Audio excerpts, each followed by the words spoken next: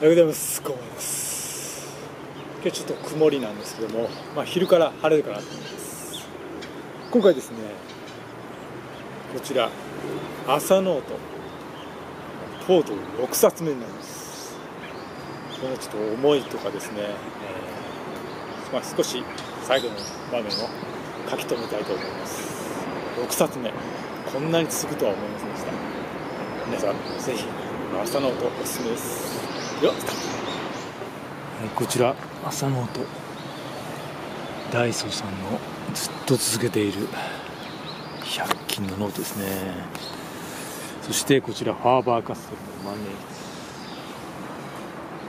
筆組み合わせが非常に意外とはまりましたね。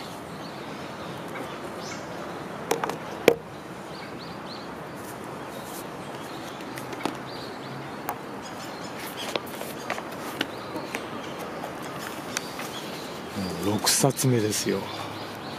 いつものようにこのページは、まあ、このようになっているのでなっているので書かずに次の2ページ目から書くようにしています。今朝ですね、えー、もうすでに朝ノートもちろん書いたのでこのまあ内容ですねちょっと見ていきましょうか。いや本当に鳥の鳴き声が。心地ですね。たまにこちらの神社に来てですね朝の音を書くこともあります。まずはこちらですね、えー、202というのは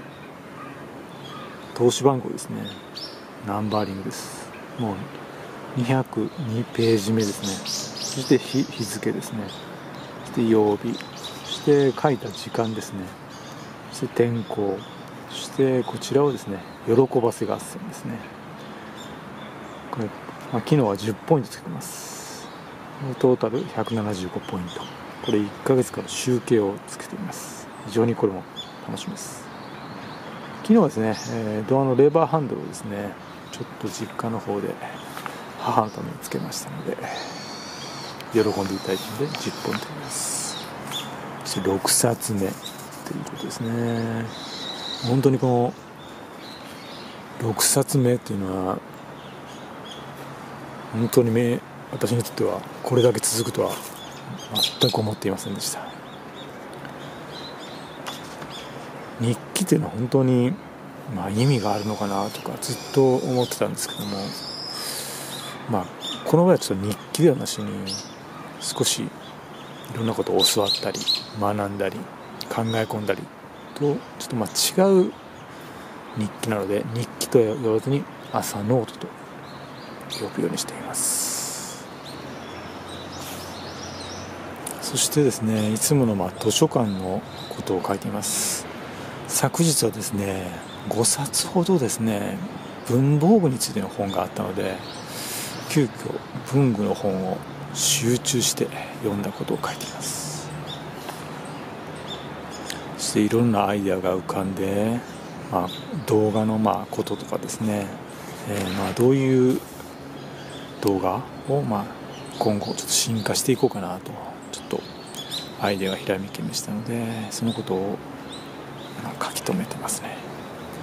そしてアナログの世界の重要性ということですね。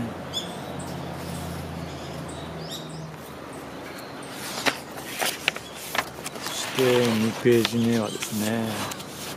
えー少しですね最近ちょっと母の体調が心配なので母のことについて書いています、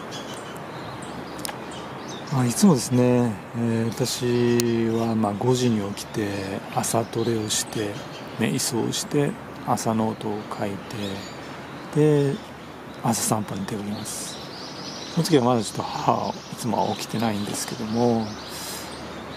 まあ、少し前に、まあ、めまいがしたということでちょっと心配になって母がまあ起きてから、えー、このように散歩に出かけるようにしています。そしてまあ母に対しての、まあ、もう少し喜ばせないとなというのをいろいろ考えさせられることもちょっと書いています。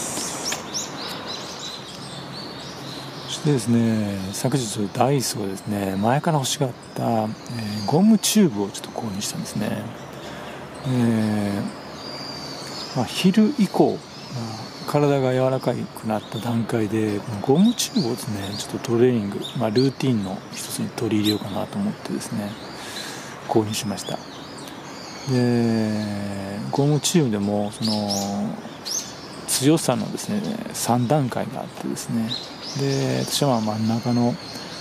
オレンジの、えー、まあ、真ん中の硬さを買ったんですけどももう一つ柔らかい、えー、緑色の、まあ、ソフトっていうものをちょっと今日でも買いに行こうかなと思っています。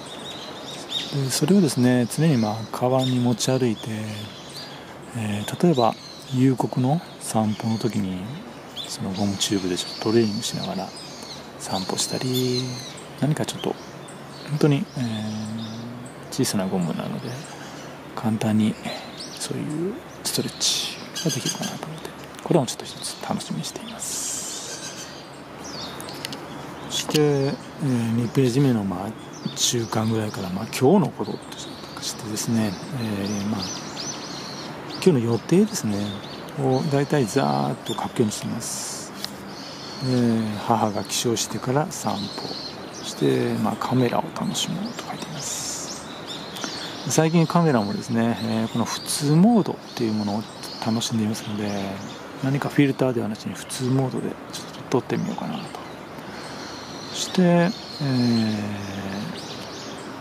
ー、図書館ですね、まあ、いつもこちらで、えー仕事してるわけですけども、図書館で、え、また、え、ちょっと考えることがありますので。基本的にこの朝ノートも含めてアウトプットと考えています。そして図書館からずっとインプット。そしてまた夕刻に何かこう散歩しながら、えー、考え事をする。これをアウトプット。ちょっとそのタイムスケジュールで書いています。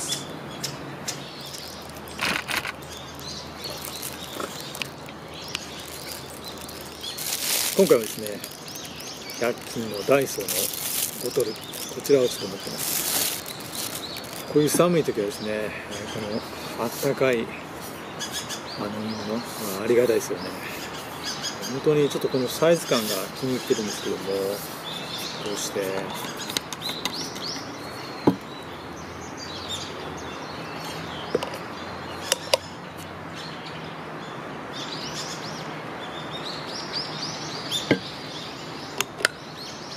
音もまあいいかなと思います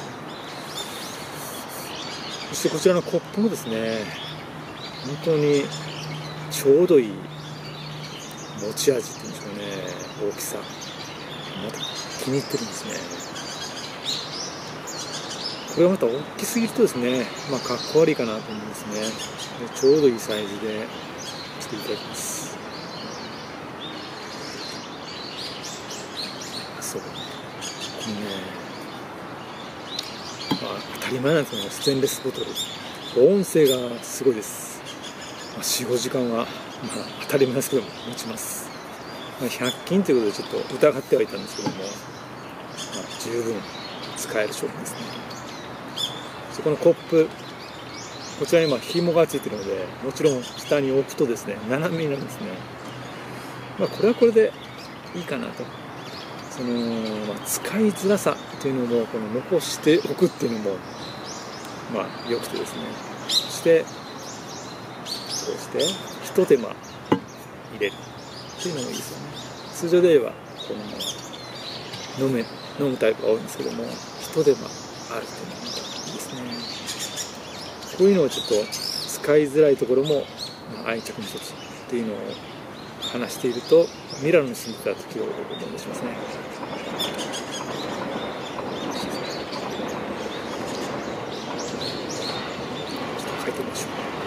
このように少し斜めになりますけどもこれもまた愛着の一つになります。そしてですね、えー、いつも最後の一節をですね毎回同じことを書いています。それはですね私のテーマである時間を止めてカチッと感よく出てくる言葉ですけども。そして前を美しく。後を美しく。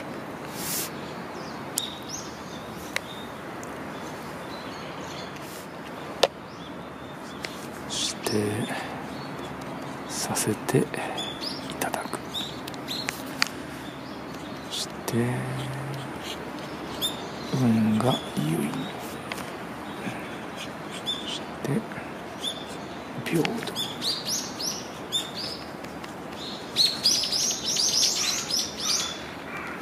気持ちよくと書いてます。この一節はですね毎日毎日書くようにしています。そうすることによって何かこう体に染み込むんではないかなと感じています。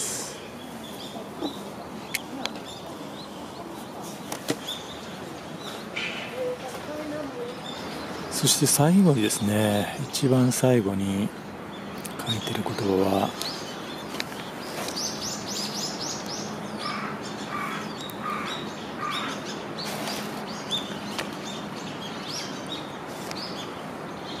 今日の言葉っ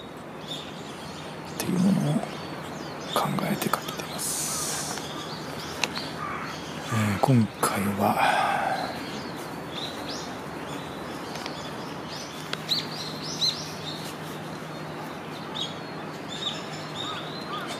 じっくりと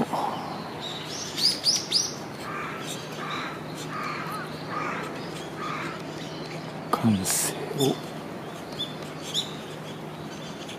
起こすという。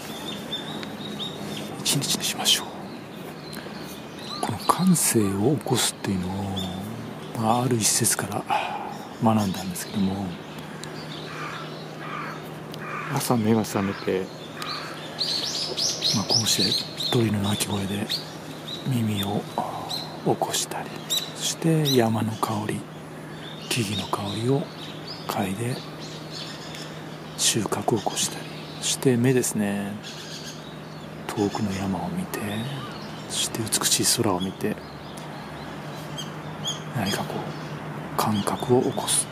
っていうことをちょっと意識していますね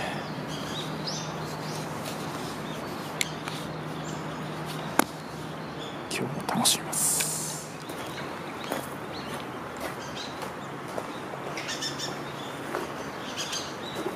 はいいかがでしょうか？朝の音。この書く時間がですね非常に心地よくてですね本当に毎朝書くのが楽しみになっています。そして最近ではですね、えまあ、仕事のことも書いてますのでこの朝の音の中で仕事をしてしまうっていうことも考えます。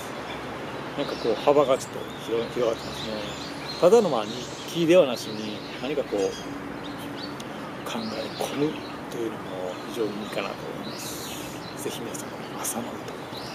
自分なりの楽しみ方がきっと見つかると思います。もしこの動画が良かったなって方はいいチャンネル登録お願いします。ではまた。次回